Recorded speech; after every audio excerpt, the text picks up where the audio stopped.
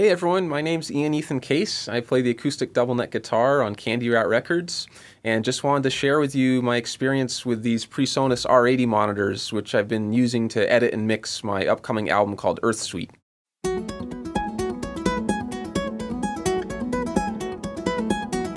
My previous album, Run Toward the Mountains, I only had to worry about myself, my instruments. It was just a complete solo record.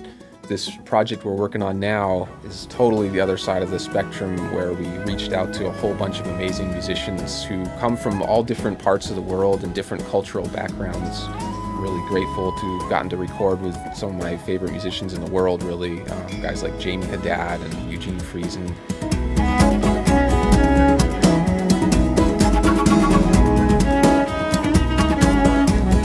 Knowing who was involved with the project, we really wanted to do justice to their playing. So we were fortunately able to record in some amazing studios around the country with just, you know, fantastic engineers and basically the best microphones and preamps that money can buy.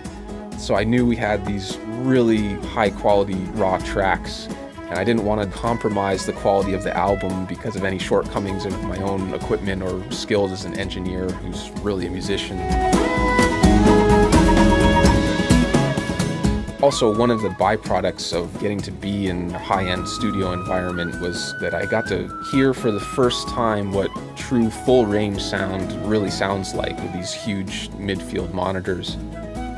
It was amazing to me how much I had been missing that I didn't even realize I was missing on 5-inch near fields.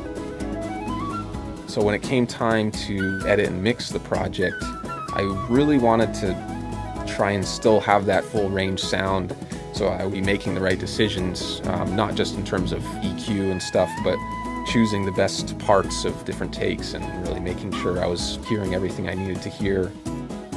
I knew I needed something other than my small near fields that I'd been mixing on, so I was really excited to try out these PreSonus R80 monitors with a 8-inch Kevlar woofer. I thought, you know, okay, these will be a great source to compare back and forth with my small monitors that I'm used to and I got a speaker switcher for that purpose.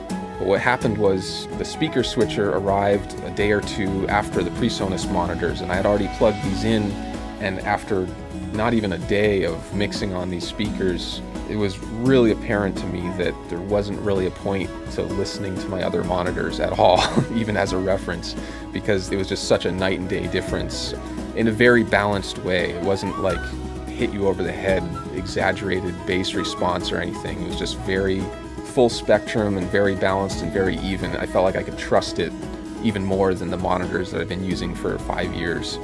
And so I never ended up even plugging in the speaker switcher.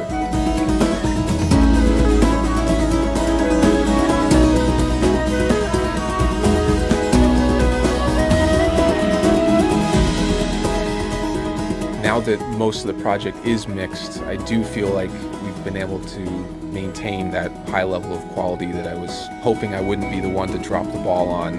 I certainly feel like this album has come out way better than anything I've been able to achieve in the past.